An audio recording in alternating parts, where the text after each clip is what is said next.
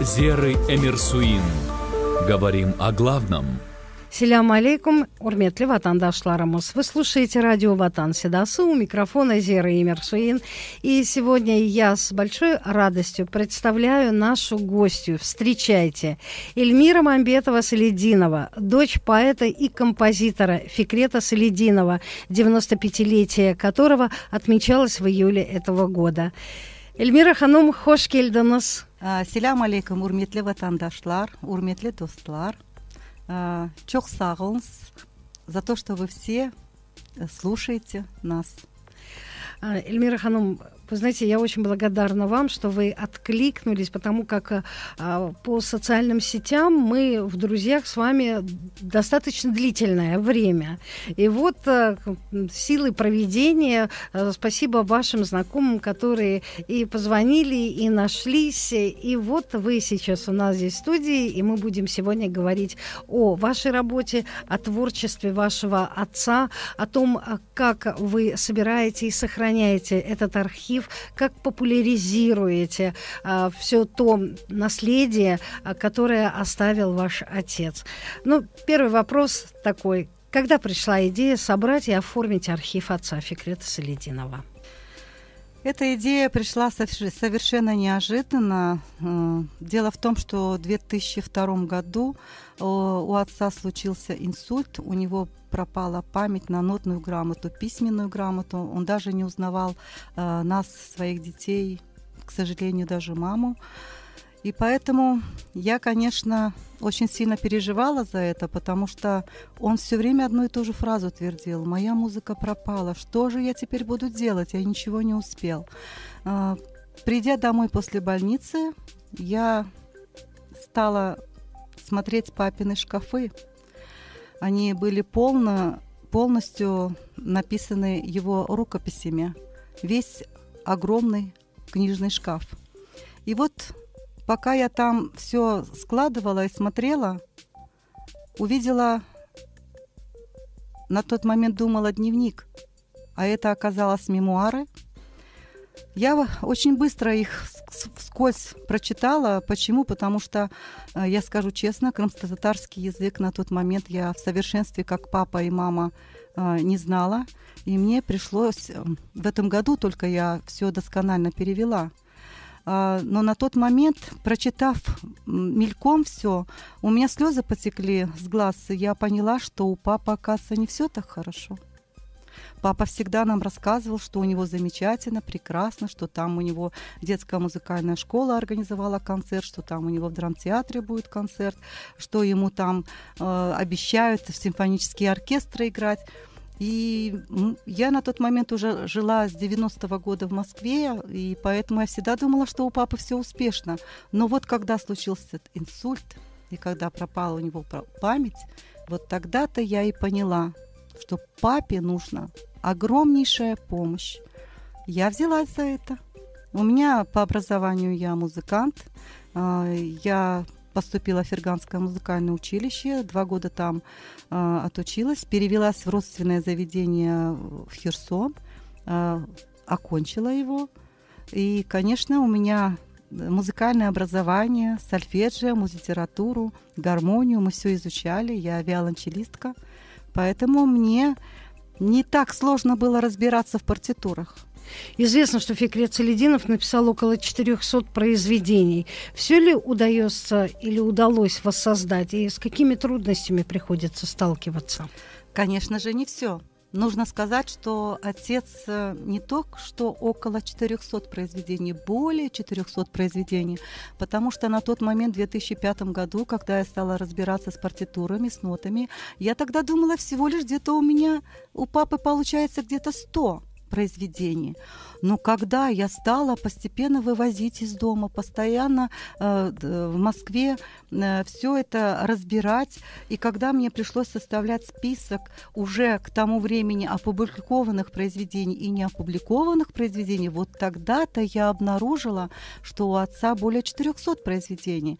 И что хочу сказать, э отец э, э сочинял э, в разнообразных жанрах. У него э, жанры многообразные э, по содержанию, его творческий багаж составляет не только фортепианные произведения, также серенады, концерты, ноктюрны э, для, инструменталь... для инструментальных э, произведений, для скрипичных, для скрипичных ансамблей, для малых оркестров, для квартетов, квинтетов, для огромного симфонического оркестра. И вот тогда-то я поняла, какой папа же у нас умный. Я что хочу сказать? Он гениальный. Знаете, что он сделал? Он, например, вот даже сегодняшний день, когда я занимаюсь его творчеством, я вижу, что тот же вальс Мелевше, он для большого симфонического оркестра, для малого симфонического оркестра и тут же для фортепиано.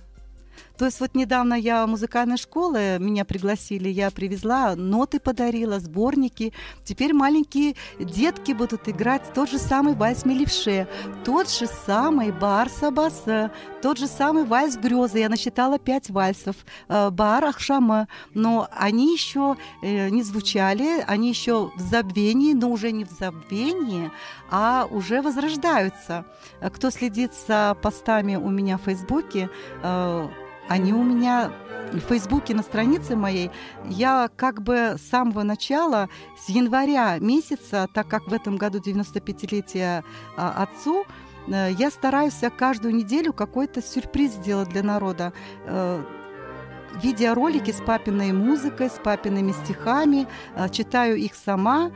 И вот позавчера, можно сказать, на следующей, на прошлой неделе родился вальс Барса Баса, а вчера я его опубликовала.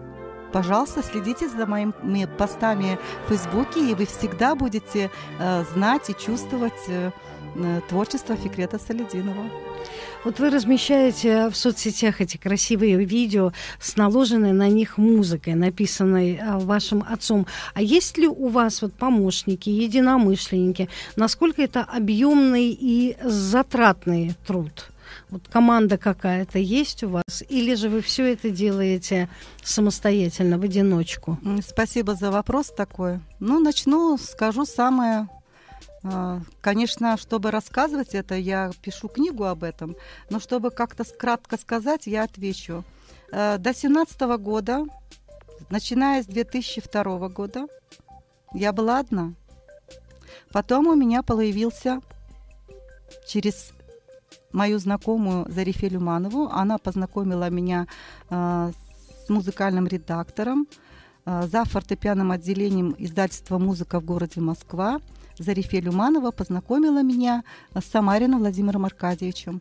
Вот Владимир Аркадьевич в 2004 и 2005 году помог мне отредактировать, сделать нотографию, верстку и причем подарить демо-озвучку. Уважаемые слушатели – я всю папины произведения, которые опубликовала и не опубликовала, они у меня все на слуху. Я их все знаю. А, на тот момент у меня был Владимир Аркадьевич Самарин. А, в шестнадцатом году, к сожалению, 28 сентября его не стало, светлая добрая память его, ему. Мне очень тяжело без него, потому что он очень сильно чувствовал, он уже проникся папиным стилем, папиным творчеством. Он очень был влюблен в его творчество. А, поэтому а, спустя, до 17 года больше у меня э, помощников э, не было. Я все время издавала на свои средства. Нотографией занималась сама и отдавала потом в редакцию. И также в типографию, чтобы издавать это. В 17 году у меня появился можно сказать, тоже меценат-помощник э, Аблямитов э, Делявер Ришатович. Э, он точно так же, как и я, проникся э, всем творчеством отца. Я видела, э, как он влюбленно э, с огромным интересом слушал в наушниках э, папина творчество еще в демо-озвучке, не в исполнении симфонических оркестров – хотя у меня на тот момент уже был опыт 2005 э, года, на котором, э, когда создался концерт, организован был мной, э, и отец сам присутствовал на этом концерте. Вот.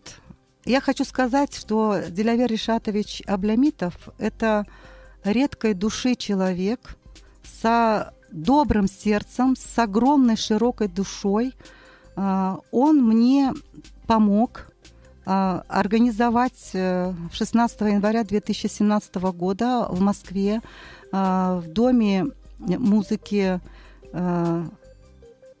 в камерном зале концерт, э, гала-концерт «Эй, Гузель Крым». Э, первая часть была посвящена творчеству Фикрету Салединова. Полностью подготовку к этому концерту, весь сценарий, все, что происходило на экране, вся моя работа. Ноты предоставила я, которые издала в 2005 году 50 произведений в 10 сборниках – и мы, получается, с Делявер Решатовичем в Тендеме работали. Мы вместе сила. То есть его команда, его компания Делявер а, и все те труды отца, которые я успела выпустить в свет, мы просто их все это объединили, и у нас получился прекрасный концерт – Однажды шла речь о благотворительном фонде имени вашего отца. Скажите, есть ли в вашем окружении меценаты, которые помогают или могли бы помочь с восстановлением рукописей, выпуском сборника, ну и вообще э, с сохранением наследия Фикрета Солидинова? А, ну, я буду честна, я вообще люблю искренность. А, скажу, как есть. В ковидное время все мы про это знаем. Я ничего нового не скажу. А, у меня не стало работы, от которой я имела доход и на свои средства все это издавала. Но спасибо детям, конечно, моим, которые мне возможность дали, чтобы я была дома и целый год занималась творчеством отца. Вы видите по Фейсбуку, сколько я много работы сделала. На данный момент э, в моем окружении меценатов нет – но появился через знакомую Гульсум Тамак Алишер Латифзаде. Это в Нью-Йорке он живет, композитор, который является э, членом Союза композиторов четырех стран. Э, он мне написал э, письмо э, в Фейсбуке, в мессенджере, где сказал, что ему очень понравилась э, музыка э, Фикрета Салединова, она его проникла и задела до глубины сердца, души его, э, своей искренностью, своей добротой. И он сказал, что так как он 40 лет уже является э, поклонником, слушателем, э, частью нашего крымско-татарского народа, так как у него и супруга крымская татарка, он сказал мне, что я теперь хочу помочь всеми силами, пока я живу, чтобы творчество Фикрета Солидинова встало в одном ряду с мировыми классическими композиторами. И сказал мне, Эльмира, вы теперь не одна. И он свое слово сдержал – попросил у меня, чтобы я ему выслала э, нотографию. Нотографию я делала в Москве у Молина. Вот э, у меня как раз есть еще 15 подготовленных произведений для Большого симфонического оркестра в нотографии. И я эти произведения, конечно же, он у меня попросил один для пробы. Э, основная мысль в чем? В том, что он сказал, что за последние 2-3 года, даже, может быть, 5 лет э, появится такая возможность, что не обязательно э, пользоваться э, симфоническими оркестрами, что можно все озвучить живым звуком на специальном оборудовании. И сказал, давайте попробуем. Э, ну и, конечно же, я согласилась. Барса Баса партитуру для симфонического оркестра я хотела послать одну, но так как она у меня вместе на одной странице, например, Барса Басе, а на другой странице поворачиваешь там Чубанчик Веховалчех, э, мне пришлось отправить, от, отправить ему электронной почтой два произведения. И вот он мне, я вам скажу честно, за три дня он мне сделал эффект живого оркестра. Я когда услышала от Барса Басе, у меня даже сейчас мурашки по телу. Я во дворе поставила через колонки послушала его музыку. это был такой живой звук. Я кружилась, танцевала, пела. Кстати, к этому Барса Басе папа придумал стихотворение. И вообще, когда я давала изначально Молину, э, эта оркестровая партитура, она идет вместе со стихами. Э, но э, мне Э, Молин ее сделал без стихов и сказал, пусть звучит такая красивая мелодия, такой красивый вальс, пусть звучит пока без слов. И поэтому я такую нотографию отправила э, Алишеру Латифзаде. Но вы знаете, там вот так напевается. Келді бар қыздава, қарлар ири дағларда. Вот такой красивый вальс. Э, со временем, конечно же, да, э, Алла Берсон э, обязательно в таком же, в такой же интерпретации обязательно выпустим свет. Главное создать еще один концерт. Я вам скажу честно, в любом случае, когда создается э, концерт, на этих концертах идет озвучка сразу же 7, 8, 10 э, произведений симфонического оркестра. Вот для этого, конечно, мне нужны меценаты, инвесторы. Я одна уже этого не осилю. Уважаемый народ, уважаемый Чемат, уважаемые меценаты, уважаемые любимые инвесторы, я готова с вами выйти на прямой диалог, на откровенный диалог. Хотите на всех ваших условиях. Я, чтобы вы знали, ни копейки на этом не зарабатываю. Я все эти годы только вкладываю, вкладываю, вкладываю. Поймите меня правильно, это великое наследие не мое. Это великое наследие всего нашего огромного народа. И я лишь являюсь правообладателем 65 лет. У меня осталось там уже 45 с лишним лет, где я буду правообладателем. Но если эту работу я не сделаю до конца, музыка папы не то, что 50 лет была в забвении, она еще будет годами в забвении. Поэтому я обращаюсь к вам ко всем. Мне нужна помощь. Пожалуйста, кто может? Мой номер телефона – Узера Ханом на радио. У меня есть два сайта. солидинов.ру на русском языке, солидинов.орг на английском языке. Там все мои данные, все мои реквизиты и телефон, который я никогда не меняю. Если даже, не дай бог, потеряю телефон, я обязательно восстанавливаю свою сим-карту и опять ставлю этот номер телефона нужно сделать все, чтобы сохранить наследие Фикрета Солидинова, потому как э, мы не должны позволить остаться в забвении такой большой работе, такой прекрасной работе, потому что это действительно богатство, это сокровище нашего народа. Вы абсолютно правильно подчеркнули это, Эльмира Да, это сокровище нашего народа. Я это еще раз говорю. Я говорю это как музыкант. А, папина музыка, она мелодичная. Как музыкант, я вам скажу, такой мелодичности – это редкость, это в 300 лет один раз. Чтобы так писать классическую музыку, вы понимаете, в ней звучит весь наш Крым. Папа так и сказал, я пишу о красоте Крыма, я пишу о любви к Крыму, и поэтому его произведения все многогранные. Э, то горы представляешь, то море представляешь. А вы знаете, я вам скажу больше, вот это хайтарма фантазия – это потрясающая хайтерма. Это хайтерма фантазия изначально у папы называется «Байдарские ворота». А почему я сделала видеоролик именно на хайтарму фантазию, а как папа уже а потом почему? утвердил? Именно весь обзор как будто с байдарских ворот, как будто с, с, с, с горы Айпетри, чтобы показать именно то, чувство отца, которое он хотел показать в своих произведениях. И я вам скажу еще больше. Я с папой э, ниточку, связь держу. Он мне и вчера приснился, и позавчера вместе с Анашечкой приснился. Я всегда знаю, что когда отец мне с мамой снятся, это у меня какая-то э, помощь, это какое-то прекрасное... Вдохновение, э, поддержка, Поддержка да? от них. Я понимаю, что я на правильном пути. И даже мне папа подсказывает, кызым, бу хайтармаларын бір сборнике кой, а манабу вайсларын башка, башка сборнике кой.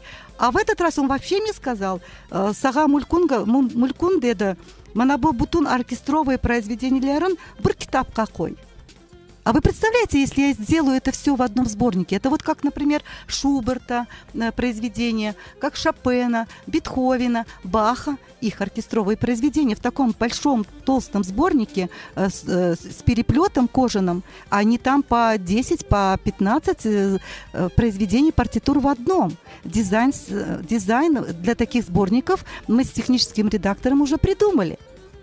Я э, у себя в Фейсбуке э, на своей ленте уже показывала, какой мы там карман создали. И вы знаете, когда я недавно была в музыкальной школе и подарила э, ноты, и также была в КДЦ э, Арзене Металаевой, также, э, чтобы деш, детки наши, наше поколение, будущее поколение, подрастающее поколение, чтобы э, росло на творчестве Фикрета Солидинова, они тоже все удивились, потому что там партия инструмента вкладышем идет отдельно в середине. Потому что вот, как вам объяснить, э, любые произведения, вот меня музыканты поймут, а вот э, стараюсь объяснить так, чтобы меня не только музыканты поняли. Э, когда играет партия фортепиано и скрипочки, верхняя строчка идет, например, соло скрипочки, а потом две строчки идет аккомпанемент для фортепиано. Так вот, любому инструменталисту то пусть будет трубач, то саксофонист или скрипач, ему приходится вручную списывать эту верхнюю строчку свою, сольную программу, сольное исполнение, им приходится выписывать на листочек. А вот чтобы они это не выписывали, мы сделали вкладыши, то есть для скрипача, трубача, саксофониста отдельное вкладыш, а для фортепиано отдельный, но идет э, вместе с, с сольной программой. Вы это всем это нравится. Же такой труд. Это же такой глобальный труд. Самый первый раз мне это подсказал Владимир Аркадьевич Самарин. А, и теперь я это все время стараюсь также издавать. И точно так же оркестровые, они точно так же идут. Партитура идет для м, дирижера отдельная, и голоса партии каждого инструмента идут отдельно. Я вам честно говорю, так мало кто выпускает. Я, во-первых, наверное, вместе с Владимиром Аркадьевичем Самарином э, среди первых. Потому что я видела партитуры, как в книжных э, магазинах продают. Там только идут партитуры для дирижера.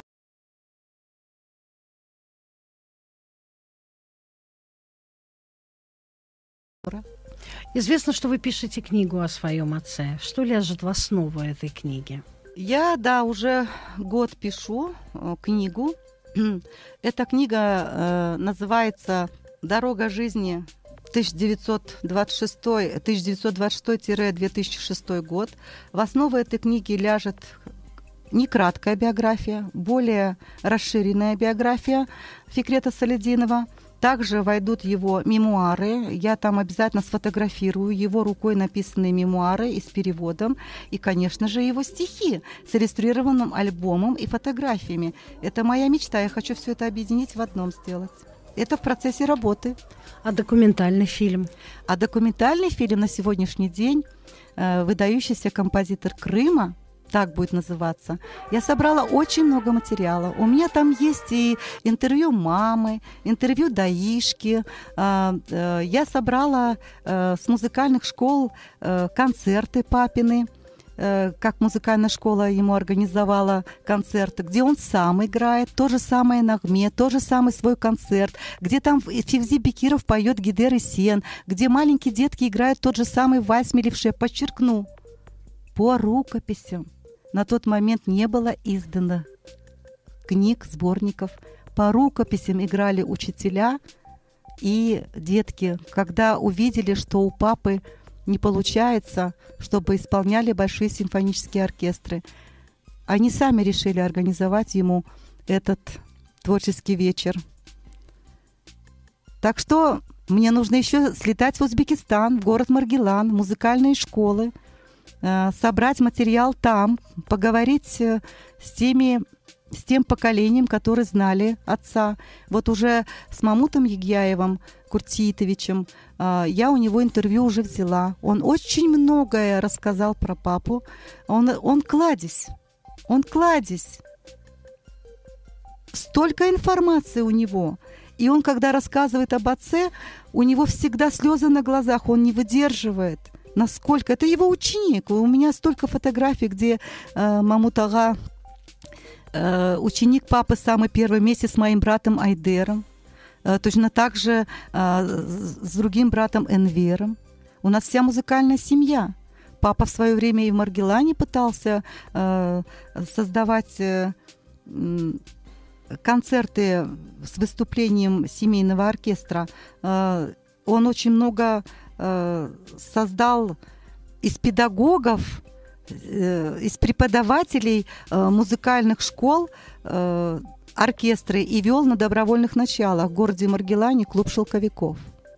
Также вел два оркестра в детских музыкальных школах, где я бегала из одной музыкальной школы в другую, потому что в городе Маргелане я была единственная виолончелистка, и мне приходилось с старшей классницей э, ходить играть тот же вальс Мелевше на ряду с вальсами Свиридова – так что папины произведения я еще 13-летней девочкой помню. Все его эскизы, как он начинал писать это все. Я тогда еще понимала, что у папы музыка очень красива. Эльвира Хану, а отец из Крыма откуда? Где он родился? Бабачығымыз, Севгілі бабачығымыз доғды Эскель Коэнде. Севастопольский район тогда был, сейчас, по-моему, Бахчисарайский. Эскель сейчас называется э, Вишневая. И рядышком село Орловка, Мамашай. Кто следил у меня, опять-таки вернусь в Facebook. Его стихотворение «Караденес» заставило меня полететь в Крым, изучать родные места отца. И вы не представляете, вот как он точно в стихотворении напис... э, точно описал этот район – Чықып бақсам оқшарларда қара деңіз көрінді қачы ақып мамашайдан мор деңізге төгіле қара деңіз ялысында серін еллер эселер ұзақ мағы далғаларда ялдай үлкен емелер. Қопырып мағы далғалар қаяларға уралар. Ялы бою жағалалар қанат жайып учалар Ешіл, дүлбер ялыларда өскен yüksek селбилер Береклерінің далдасында дам топелі екчелер